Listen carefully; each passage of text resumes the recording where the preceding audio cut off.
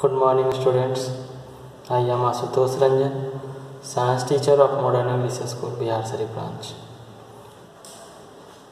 As I am teaching you your 13th chapter, Fun with Magnets, I have discussed so many points. Today I will discuss further about this chapter. Previously, I have taught that magnets have directional property. So, on the basis of this directional property, a device is made to find out direction is magnetic compass. Magnetic compass in a magnetic compass, magnetic needle is used to find out direction.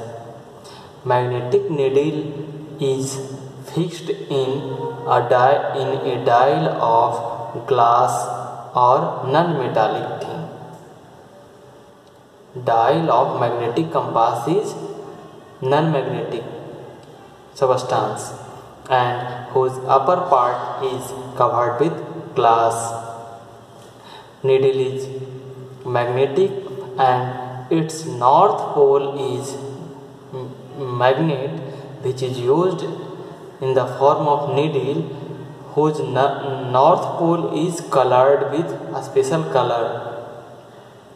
And when we put at any place this magnetic compass its needle mean, means if its north pole needle, uh, north pole of the needle point out in north direction. And by this way anyone can find out direction at any place.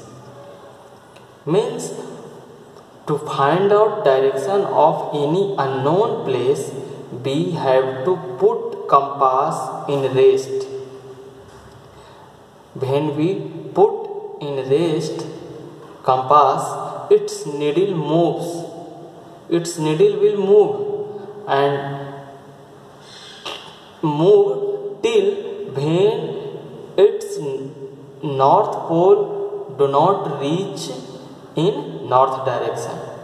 After getting in a north direction after reaching in north direction needle get rest in north south direction and by this way we find our direction at any place. So this is the compass that is magnetic compass. Now previously i have discussed and told that magnets are of two types artificial magnet and natural magnet. Another magnet type is also uh, electromagnet. So what is electromagnet?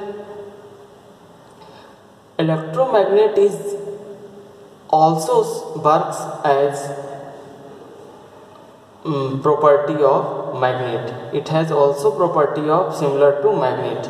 So how do we prepare electromagnet?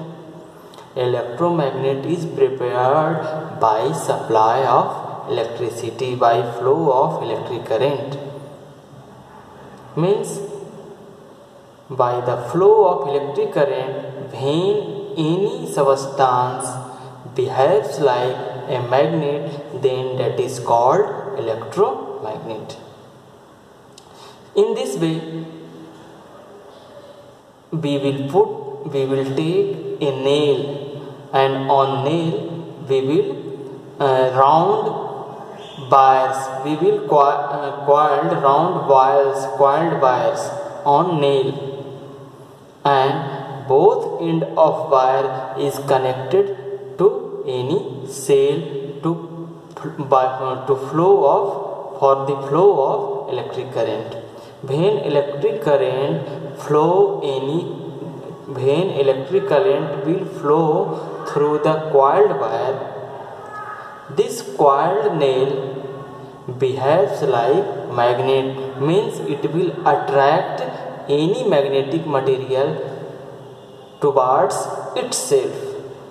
So this property of that material is called as electromagnet. And this magnetic property is produced due to flow of electric current in coiled wire which is coiled on any iron or any magnetic nail. When we will stop the supply of uh, electric current then that magnet will lose their magnetic property. So this magnetic property is only continued till electric current will flow in coiled wire so this is the way of formation of electromagnet. Again i will introduce electromagnet. Electromagnet is that type of magnet in which any magnetic material any conducting material behaves like a magnet due to flow of electric current. And this substance this system will called as electromagnet. So this is about formation of explanation of electromagnet as we will supply more amount of electric current it will be have more magnet it will show more magnetic power if we will supply less amount of electric current it will be show less magnetic power but this magnetic power is due to flow of electric current so this is about electromagnet so for today that's all. Thank you. Have a nice day